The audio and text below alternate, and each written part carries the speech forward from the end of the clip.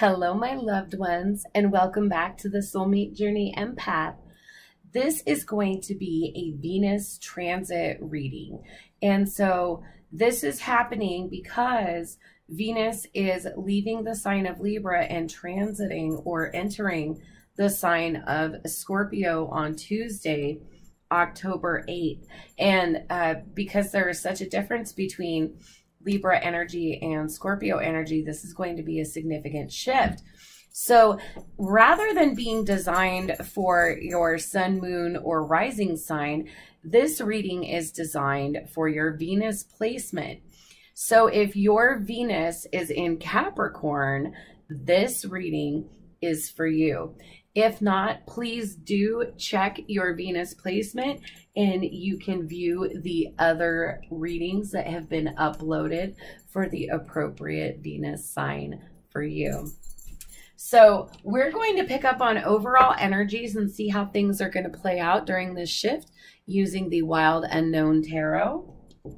And we'll be getting an oracle message from the Journey of Love Oracle deck to help you and provide guidance and perspective during this significant energy shift.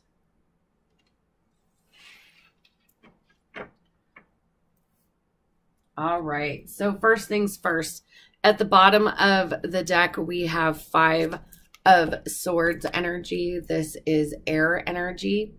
This is a lot of conflict, feeling that there has been a lot of conflict and you're not sure if it's worth continuing the fight or if you just want to lay down the burden and walk away. So that's the overall energy. Let's see what's coming in for Venus and Capricorn during this Venus transit. What's coming in for Venus and Capricorn? All right.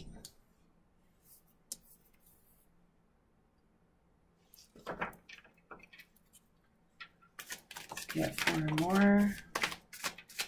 All your energy is coming out here, Capricorn.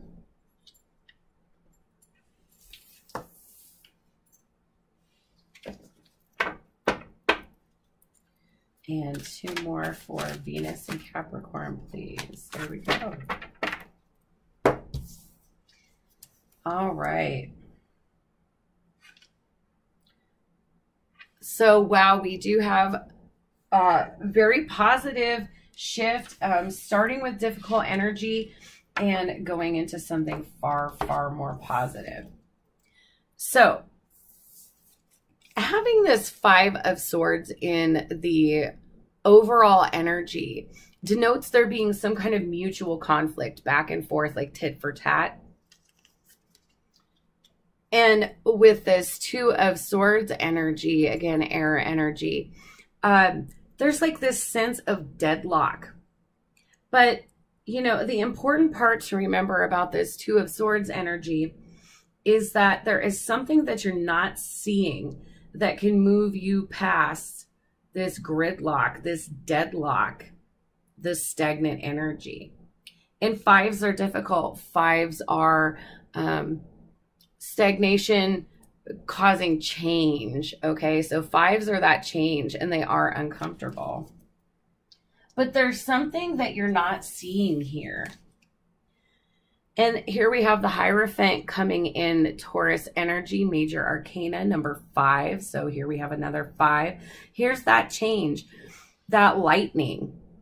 Um, this is kind of divine intervention here that is shaking up this energy because something needed to change.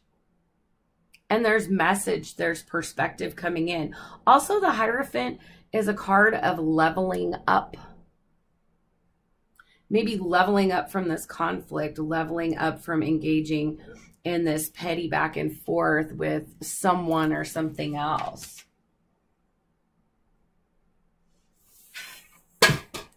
And Next out, we have the Three of Wands energy. This is fire energy.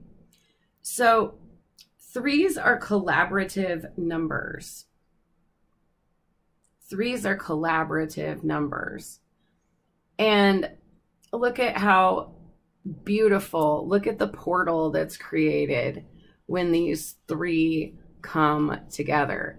They can collaborate something and create this beautiful, colorful portal. But we have Capricorn energy here. We have the devil energy, number 15, 1 and 5. Um, add to 6 in numerology. And your uh, Capricorn has a tendency to want to take leadership as it being a cardinal sign. And there's a fine line between leadership and control. And what I'm really seeing playing out in the situation has been like this epic power struggle between two very stubborn forces. And it may be natural when there's conflict if you have this Venus in Capricorn to want to try to step in and take control of the situation to restore balance with that six. But there's this clear message here with these threes because next out we have the three of cups, water energy. And again, this is about collaboration. And um, look how how uh, really stark those swords cards are. There isn't very much color. Look at the integration of color in these collaborative energy cards.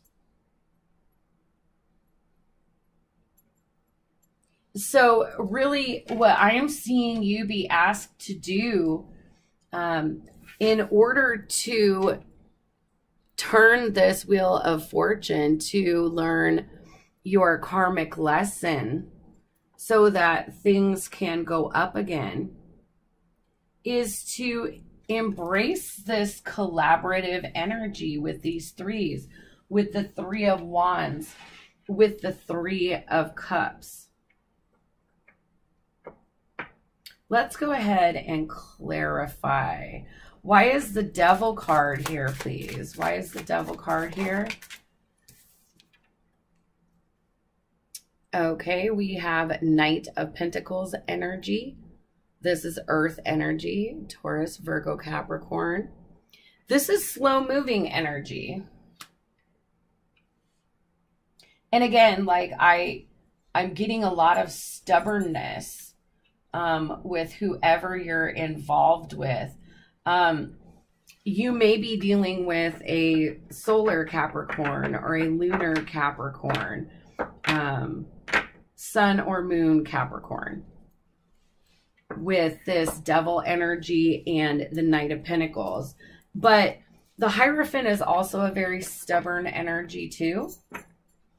Um, and resisting the flow of things, okay? The Wheel of Fortune is all about surrendering to flow.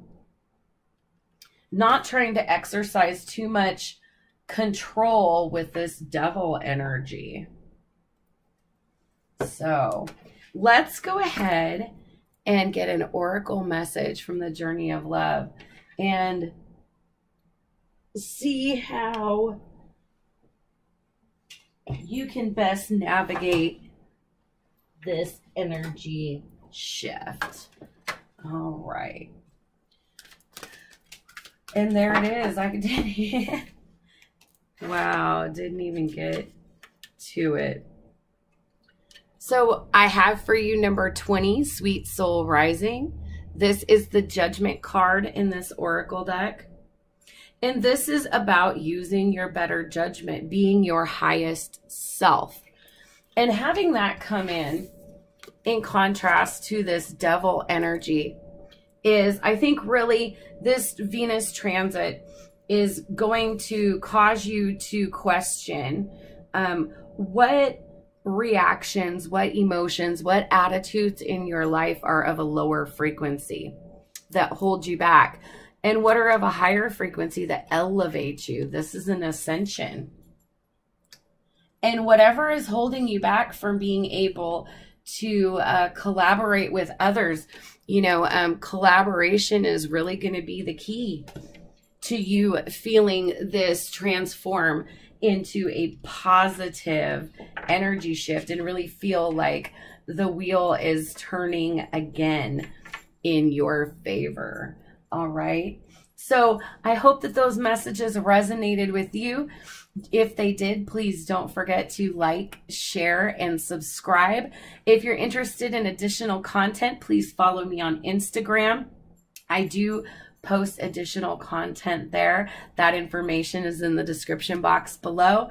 And if you would like to book a private reading with me, my Etsy store, Soulmate Journey Reads, the contact information is also in the description box below. So take care, my Venus and Capricorn loved ones. And until next time, I'm sending you lots and lots of love and light. Bye bye.